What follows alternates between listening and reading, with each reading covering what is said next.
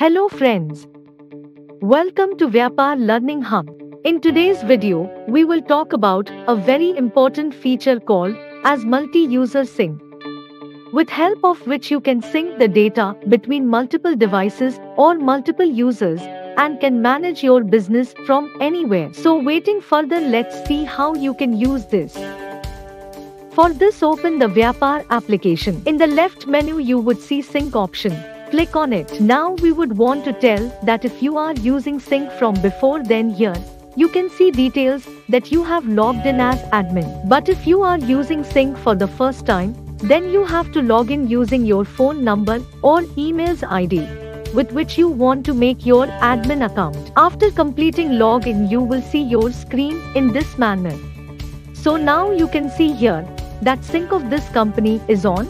You are admin of this data and you can give access to other devices or users that they can use this data with the help of sync. So for that you have to click on add user button present here below. After clicking you would be asked about user details.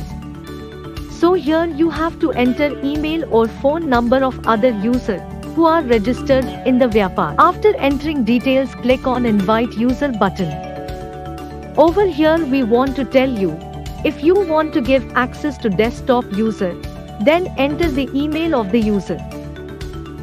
They would receive email from Team Vyapar on that ID from which they have to click on link to download Vyapar. And if you have invited user through phone number, then they will get a SMS and WhatsApp message with invite link. From there they have to download Vyapar.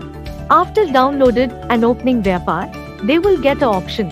Join a company shared with you. After clicking there, they have to log in through details from which you had invited them. After login is done, they would get two options on the top. Shared with me and my companies. In shared with me option, they would get companies which you have shared with them. Now in front of the company name, click on join button to proceed and join company. Now user can use this company. But if user is using Vyapar from before, then they have to go to left menu and click on change company and go to manage company option. If they are joining from desktop then on left in company section, they have to click on change company.